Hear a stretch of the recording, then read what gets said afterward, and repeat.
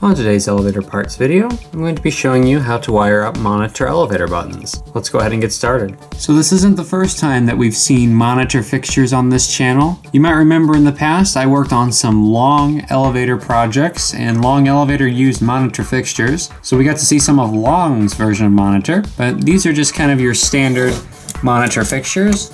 This current one is already wired, but we're gonna be uh, changing it a little bit. So this particular style button, I'm not sure what brand of elevator this was from, but it wasn't like long or anything. This was just probably using it's just some generic elevator. In this particular style though, we have a round ring and just a round button. And there's actually a similar style that Long used just like this. However, instead of it being round, it was a, a square and then the circle button. So if we pull it down here and take a look at the back, you'll notice here that the base is the same base that we saw on the Long stuff. And well, that's to be expected. These are monitor buttons. And the wiring for this is very, very similar to the EPCO video that I made recently.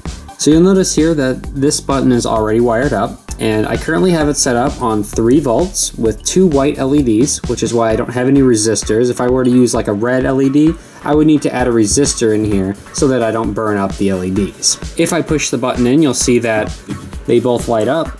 So my main reason really for rewiring this are the contacts are kind of dirty. I never properly took these apart to clean them. And that's something that's important, uh, especially if you have dirty contacts because you'll get a kind of a response like this, you'll see it's kind of intermittent and even pushing it really hard, it, it doesn't work very well. I'm also taking this opportunity to convert my LEDs to incandescent. Now, the current method I'm using now is the method I use when I don't have PSB type bulbs, which are what these take. These are PSB bulbs, and this is the type of lamp holder it uses. And this would slide into here, and you would hook up your terminals here. But if you don't have PSB bulbs, a good solution is to take the LED and bend the terminals on the side and connect it in here. And it works just fine and it allows you to put whatever colors you want in these buttons. Now the wiring for this is going to follow the exact same schematics that you can find on my EPCO wiring page. Because these are very similar to EPCO, just the contact layout is a little bit different, and we'll get to that here in a little bit. But let's go ahead and get right on into this. So I'm going to go ahead and pull off all of the old wiring and we'll get started with a fresh batch of wires and I'll, I'll show you how to hook it all up. Pulling the buttons off is easy enough and underneath there's these little spacers. But as for the button, we've seen these before. You just have to take these screws off. Now that the buttons are apart, we can actually take a better look at the contact arrangement of these fixtures. So in the EPCO video, these two contacts on the back, so if you're looking from the back, these two side ones get connected when the button's pressed in. However, with monitor, you'll notice they go down the sides. So in order to make a circuit, you would need to connect to these ends, the opposite ends. So not these, these. That's mainly the only difference between this and EPCO.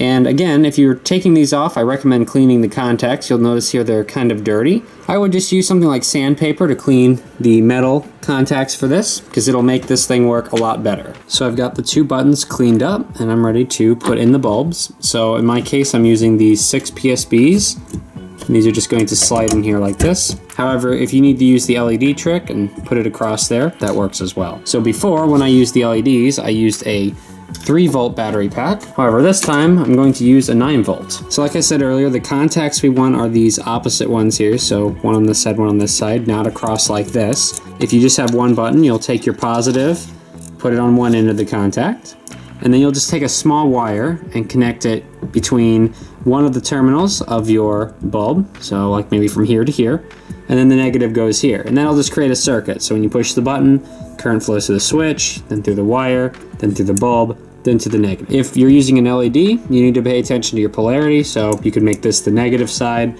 Just, if it doesn't work, flip the LED around and, and try it again. If you have two buttons, we're gonna do the same kind of thing as, uh, as I've shown before. You'll just jump the power, so like positive here will be positive over here, and then the negative to the negative, and then you'll do the wire connect as well. So very simple. If you need a schematic, uh, those will be on the website as well for you to check out. So it's all wired up, and you can see here, just like I said, we've got the positive and the negative coming into these terminals, and then on this terminal for the button, we have a wire to this lamp, and then the negative here. I jumped those over to the corresponding positions here, connect the wire. And if I had another button, I'd do the same thing. I'd jump it over here, connect the wire. So you can pretty much do this for as many buttons as you want. And if we push the buttons in, you'll see here they light up incandescent and that definitely looks a lot better than the LED. And you don't have to mash them in anymore. They light up and they light up bright. So I hope you enjoyed this video of monitor elevator fixture wiring. Again, if you want to see some more monitor fixture wiring and other projects, check out the long section. I have a link in the description. And another wiring tutorial for EPCO, which is very similar. There's some other resources available there. And for the wiring schematics and other resources that you might want for these buttons, there's also a link to, uh, to my website for, for this particular button. So thank you guys for watching. Hope you enjoyed it, and we'll see you next time.